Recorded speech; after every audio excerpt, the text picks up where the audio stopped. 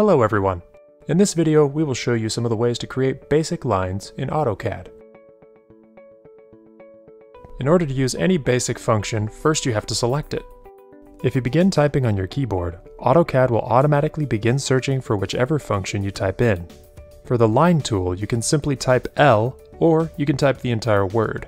This is a quick way to find most functions while you're working.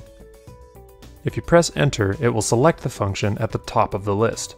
Now that you have your line tool selected, you can simply left click anywhere on the grid and it will begin your line. By left clicking anywhere on the grid again, it connects the two points together. Press enter and the line will stop. You can also select your line tool in the top left hand corner of the screen. In order to draw a new line, you will have to reselect your line tool. In the bottom right there is a toolbar with several options.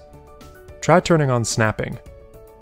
Snapping will allow your lines to stick to the points on the grid and create lines based on exact increments. On this same toolbar, you can also turn on ortho mode. With ortho mode on, your lines will only draw at a perpendicular angle or 90 degrees vertically and horizontally. This is a very useful function for creating shapes with precision, and it helps ensure that you don't get any crooked lines when you're drawing up a plan. In the bottom right, there's also an options menu for snapping. For example, if we turn on midpoint, the cursor will automatically highlight the midpoint of any line when you hover near it. Now when you draw a new line, your points will snap to the midpoint of whichever line you select. This is another great way to save time and get exact measurements. Another way to draw lines is to input the length of your lines manually. First you select your line tool in the top left, or by typing L and pressing enter. You'll notice that there's a box next to your cursor that says specify first point you can simply type in a value, press comma, and enter a second value after that. In this case, we entered 0, comma 0, then press enter. When you type 0, comma 0 in the line tool, it will begin your line at the origin of x and y, which is the location of the value of 0 on your grid.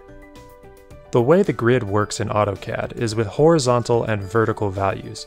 x is horizontal and y is vertical. When you're manually entering values for lines, you can also use the direction of your mouse to tell the line where to go. I can point the line in the direction I want it to go and type in the value of the length, and the line will travel in that direction however many increments I type in. This is a way of speeding up your process if you already know the dimensions of your lines, and you can easily create perfect shapes like squares and triangles with ortho mode turned on. Speaking of creating triangles, now we'll talk about inputting the angle of your lines. Select your line tool.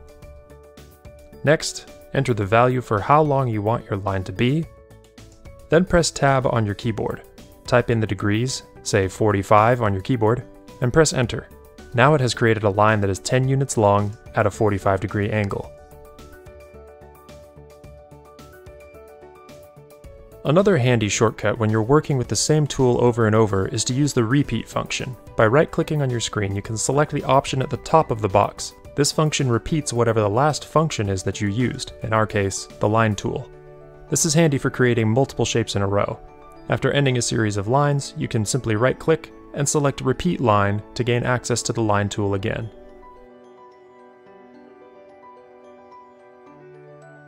These are all the basic ways to create lines in AutoCAD. If you take time to practice these methods outside of this video, it will only speed up your productivity and make it easier for you to create plans in the future.